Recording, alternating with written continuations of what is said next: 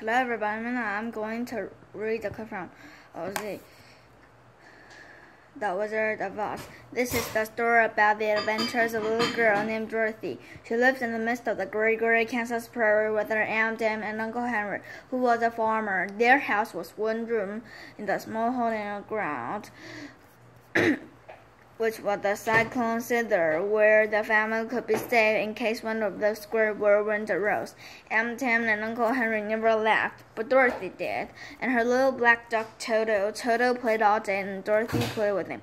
Today, however, they weren't playing. Uncle Henry looked anxiously at the sky, which was grayer than usual. There was a low wind of wind. Cyclones coming in. I'll go look after the cattle. You and Dorothy get in the cellar there. But Toto wiggled Dorothy's arms and ran to hide under a big bed.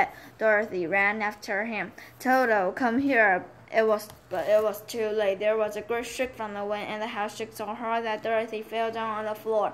Dorothy, Dorothy. And then a strange thing happened. The house rose slowly in the air. Toto was going up in a balloon. Slowly, Dorothy got over her fright, and after a while, she crawled over to her bed. Toto, I'm so sleepy. And soon Dorothy and her little dog were fast asleep.